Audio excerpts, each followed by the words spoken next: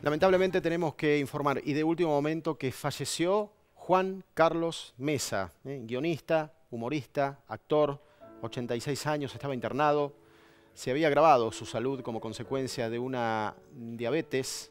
Su hijo Gabriel acaba de confirmarlo.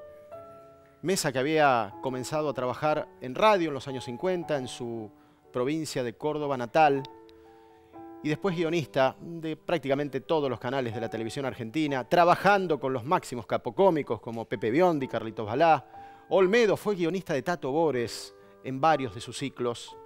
Y por supuesto, uno de los más recordados, Mesa de Noticias. Aquel otro, El Gordo del Flaco, con Gianni Lunadei.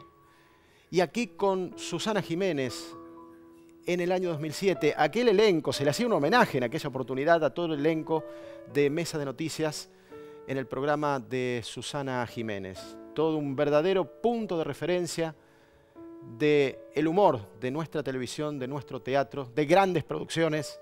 Reiteramos, se acaba de confirmar su fallecimiento a los 86 años. Como corresponde a su historia, nuestra despedida es con el humor que nos dejó y que nos dio durante tantos años.